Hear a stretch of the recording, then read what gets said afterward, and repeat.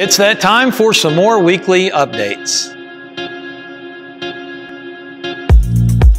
Hey guys, I got a couple weekly updates I want to share with you. A couple things that's very exciting. Number one, we do have a Bible drive taking place.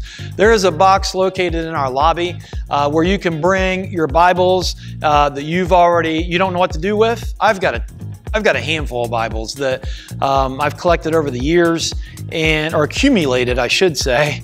And um, this is a perfect way of, of taking those Bibles and putting them into the hands of someone that could truly use a Bible. So uh, we do have a container out here that, uh, in our lobby that has a sign on it that, that, for our Bible drive. So if you would want to bring those, place those in that container.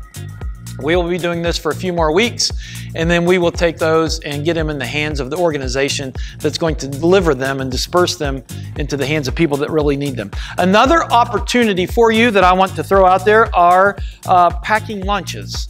Uh, I-92 Ministries with Andy Pyatt. We have done uh, meal packing in Haiti. We've also done some lunch uh, pack lunch buddies, I think they are. Uh, and this is what uh, this one is as well. On Monday, October 25th, now this is through the morning if you would have time, October 25th at 10 o'clock in Adrian, his office, or his uh, space there, uh, they're going to do a, we need six to eight people, and we are going, there's going to be a sign up sheet at Connection Point in the lobby, but we're going to pack some lunches. So October 25th at 10 o'clock in the morning, if you would have some availability, uh, we need about six to eight people uh, to come and assemble those and put those, get those, uh, those lunches into the hands of kids that truly need them. So we've, we've done this before and it's very exciting. In addition to that, one other serving opportunity, in the lobby you're going to see some of those boots that we, uh, uh, those boots on um,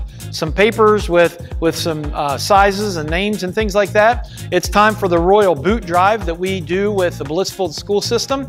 And essentially what we do is we will go back, grab it, you, if you've done it before, you grab a boot, uh, make sure you put your name on the sheet there so that we can track that, and then go out, pick up a set of a pair of boots or whatever, so that uh, some of the kids that really need some boots and a footwear like this uh, for the up and coming months we can bless them with. And we've done this over the past several years, and it's always been a powerful blessing for everybody, okay?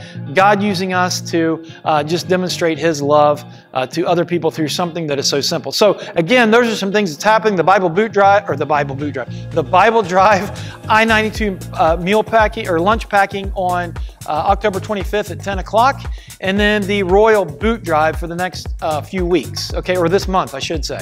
So if you would, please just lean into these and um, help us out and just be a blessing. Let God use you uh, just to demonstrate the love of Jesus uh, being His hands and His feet.